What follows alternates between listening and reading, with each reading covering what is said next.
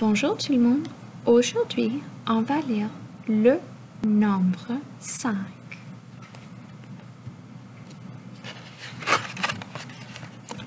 Le nombre 5. Cinq gros oiseaux chantent et font leur salut au roi.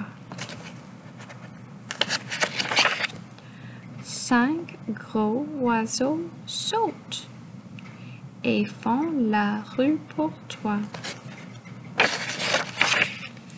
Cinq petits oiseaux pleurent et s'ennuient.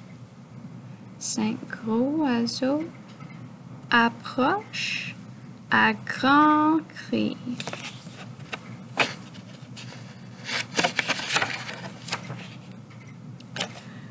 Cinq enfants s'amusent et rient.